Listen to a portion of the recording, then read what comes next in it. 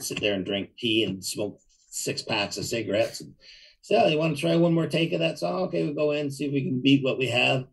And sometimes they did, sometimes they didn't. And so then we'd move on to the, so that was sort of just our our day, you know, it was never uh it was never work and there was a you know a lot of fun talking and you know and every record's about the same with them you know there's not other that the the studios venues would change uh it was the same procedure every time. They're just amazing. Every time you know you set up like i said you got to be ready in the studio because they they walk in there and have a little tune. They may uh you know may, we may play a little bit to sort out a tempo. Sometimes we'll, we'll time a click track to whatever tempo they're playing to.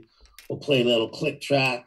Phil will start counting out and then we turn the click off and then they just play the song. And you know a lot of times they'd get it in like three or four takes. You know each take just got a little better a little better and then and then it's done you know? And then we'd take a long break you know maybe an hour two hours. Brian johnson angus young i'm guessing the rest of the guys too they like to smoke in studio. Yeah is that allowed? Like is that is that a thing that's allowed?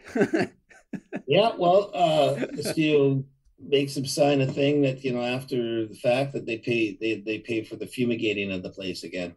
Oh interesting. Definitely on the last record there was we, none of us smoked in the studio. Even mm-hmm. angus would come outside for smoking it and i think angus and brian are the only two in the band that still smoke. Maybe phil did a bit but it was more the brothers uh, malcolm and angus once they got going. It was it was definitely three packs a day. It was crazy. That's nuts. The yeah. smoke in the recording room wouldn't that interfere with the the recording at all in any way? Malcolm swore that it helped the sound the nicotine would get on the tape and it helps the sound. He swore by that. You think so? That's cool. Yeah, yeah. I, I don't see any physical uh, reason for that, but but Mal would swear by that.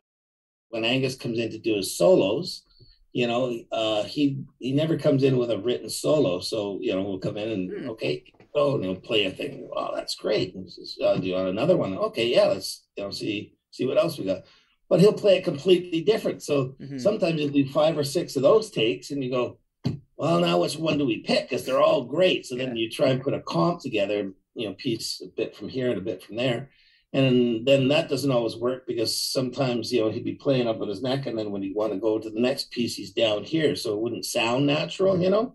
But you're trying to get all the best bits in in one solo, so sometimes that's tricky, and then sometimes you're going, well that was a great bit, but we can't make it work with all this other great bits. So let's just just that first solo you played, Ang, let's go with that. It just sounded the best. So, you know, that's the only time you have to work with Angus. He's he's very quick.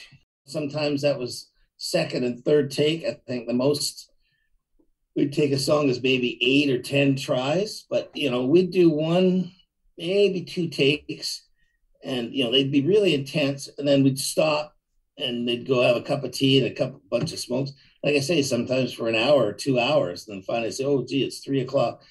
Let's let's give that another go." So they'd go in there and tune up, and then bang, and away they go. And you know, you could hear each different take was getting better and better and better. And then finally, the next one take wasn't as good as the last take. Sometimes we'd try another one. No, that wasn't as good. So we'd go, okay, let's take that take.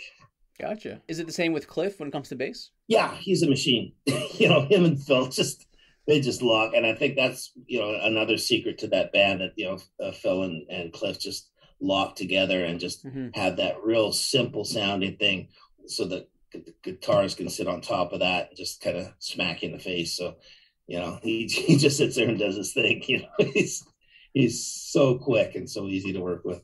And then there's absolutely no layering. Like I said, it's just Mal one guitar, Ang one guitar, and on some songs, sometimes we like throw sort of like little power chord things in choruses just to have the chorus feel like it lifts a little more. Mm-hmm. But they'd be way back in the mix. You wouldn't even notice that they're they were in there.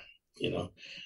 Now, after all that's done, sometimes they'll go through and Angus will do lead guitars and stuff, and sometimes that's when they do the little sound. You know, mm-hmm. so there'll be other little sounds on top of that, but no doubling or tripling of, of rhythm guitars or anything.